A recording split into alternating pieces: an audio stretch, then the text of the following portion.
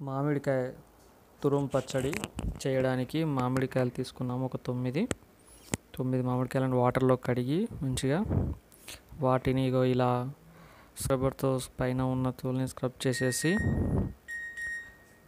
నీట్గా అన్నిటినీ నీట్గా పైన ఉన్న తోలుని అలా తీసేస్తే తర్వాత వచ్చిన దాన్ని మనం కొబ్బరి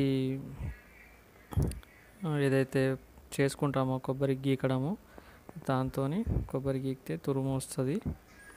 ఆ తురుముని ఇలా ఇలా ఇలా చేసుకోవాలండి అన్నీ. ఇలా చేసుకున్న దాని తర్వాత ఇక మసాలాలు వచ్చేసి ఫస్ట్ వచ్చేసి ఇలా ఆవాలు కారం ఉప్పు పసుపు జీలకర్ర మెంతులు వెల్లుల్లి ఇవన్నీ తీసుకోవాలి మోతాదులో. వీటిని ఒకటొకటి చూపిస్తాను. ఫస్ట్ ఆవాలండి. దాని తర్వాత మెంతులు. జీలకర్ర. దాని తర్వాత జీలకర్ర. కారం. దాని తర్వాత కారం. సాల్ట్. ఉప్పు. వెల్లుల్లి. పసుపు. పసుపు. వెల్లుల్లి. ఇవన్నీ తీసుకొని స్టవ్ ఆన్ చేసుకొని ఆవాలను చిటపటలాడేటట్టు వేడి చేసుకోవాలండి. ఆవాలు మరియు కొన్ని మెంతులు కూడా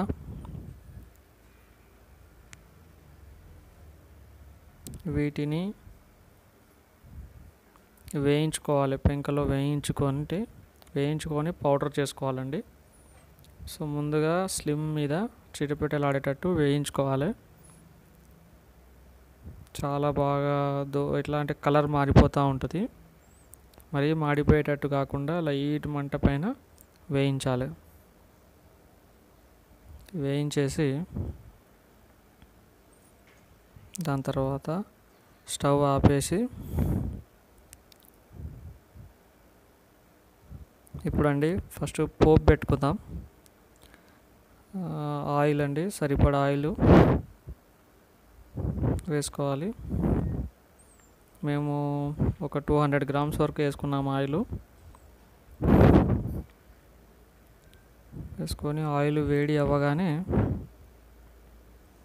మెల్లిగా ఆవాలు వేయాలి. దాని తర్వాత జీలకర్ర.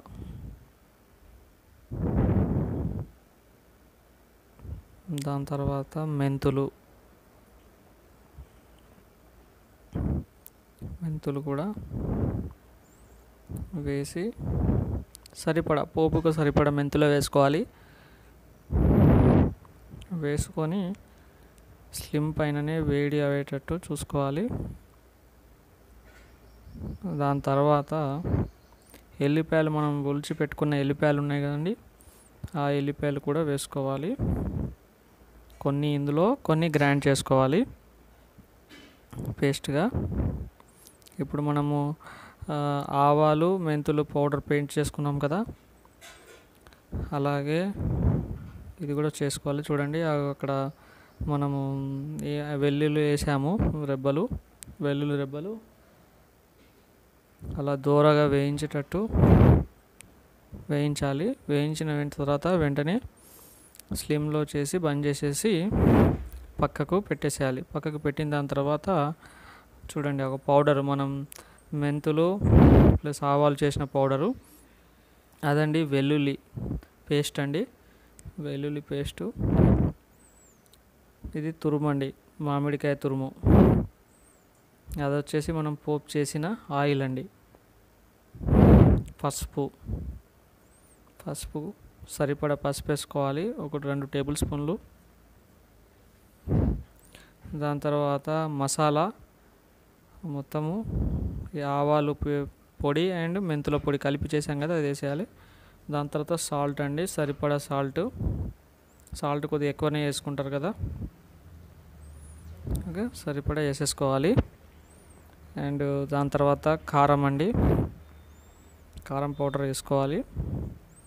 ఇంకా సరిపోయేటట్టు దాని తర్వాత అల్లం అదేంటి? మన వెల్లుల్లి పేస్ట్ అండి. మనం పేస్ట్ చేసుకొని పెట్టుకుంది కదా పక్కన అది కొద్దిగా కారం తక్కువ పడింది కొద్దిగా కారం కూడా వేసుకోవాలి.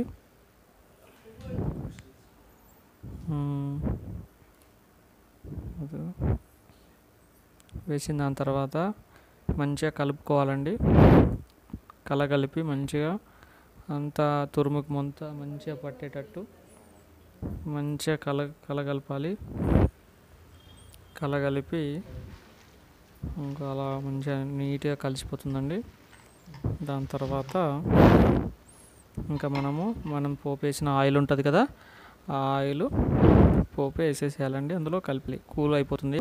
కూల్ అయిన తర్వాతనే వేయాలి వేడి ఉన్నది ఆయిల్ వేయకూడదు. ఇంకా పచ్చడి అంటేనే అదే లాజిక్ అండి. ఓకే. అలా వేసిన దాని తర్వాత ఆయిల్ని మంచిగా స్పూన్తో మంచిగా కలిపేసేయాలి. కలిపేసేసి పెడితే ఇక మనము తిని వెంటనే తినొచ్చండి. ఇది టెన్ మినిట్స్లో అయిపోయే పని. మీరు చూసారు కదా పది నిమిషాల్లో తురుము పచ్చడి ఎంత తొందరగా రెడీ అయిందో చూడండి. ఓకే. ఇలాగా ప్రతి ఒక్కరు చేసుకోవచ్చు.